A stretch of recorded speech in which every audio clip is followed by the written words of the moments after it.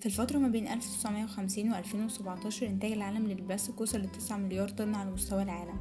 واحد وتسعين في المية منهم نفايات مش بيتم إعادة تدويرها. دي كمان كافية إنها تغطي سطح الأرض أربع مرات. posts كتير ونشطاء أكتر بيحذروا منه. ليه البلاستيك مشكلة؟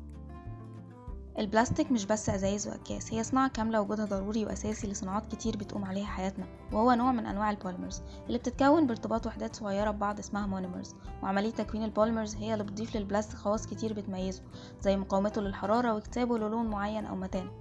أربعة في المية من المخزون العالمي للبترول الغير متجدد بيستخدم في تصنيع البلاستيك اللي خمسين في المية من منتجاته للاستخدام الواحد ولزيادة تكلفة إعادة تدوير ولأن الحرق بينتج عنه مركب الديوكسين المسرطن بيتم اللجوء للبحار أو مقالب النفايات في التربة للتخلص من البلاستيك.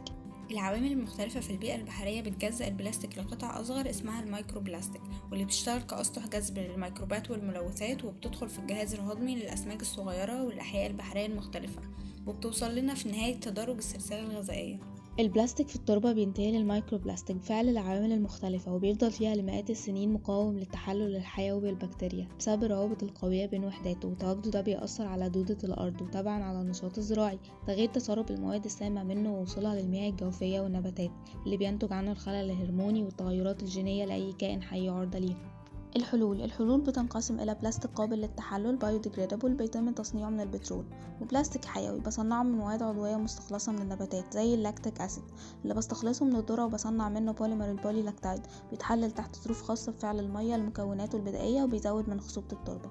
أما ال polycaprolactone كمثال على ال biodegradable plastic بتقدر انزيمات الميكروبات في التربة إنها تكسر روابطه اللي بتكون أضعف من روابط البلاستيك التقليدي وبيتحلل في مدة زمنية أقل بكتير.